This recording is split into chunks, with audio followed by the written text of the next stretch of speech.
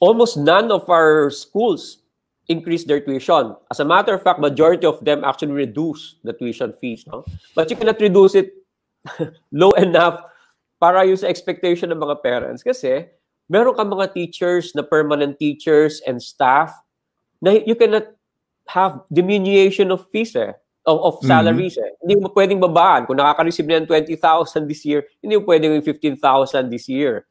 So meron kami na-maintain na threshold na kailangan mo makuha para ma-maintain. So, karamihan, binabaan yung, yung uh, ibang fees. Yung nakikita mo yung mga activity fees ka dyan, na meron ka, kasi wala ka ng physical activity sa school, wala ka ng mga, mga acquaintance party, wala ka ng mga, siguro, family day. So, inaalis na yung mga ganong fees.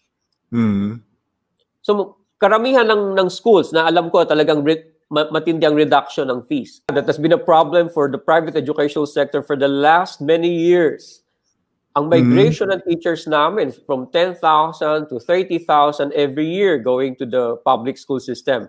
Kasi marami silang kailangan. There are about 1 million public school teachers nationwide. So ma- meron lang siguro nagre-retire dyan, namamatay, etc. every year na na 1%, that's already 10,000, no? Mm-hmm. So saan nila kinukuha yon? So fresh graduate na hindi mo nila kinukuha kasi wala pang lisensya. Mm-hmm. So yung mga ang mga yan, yung mga fresh graduate will go to private the private sector. Tinetrain okay. namin yan, binibigyan namin ng maayos na orientation. Pag nakakuha na ng lisensya yan, nagpupunta yan sa public school kasi ang resources ng government ay mas malawak kaysa sa, sa majority ng private schools.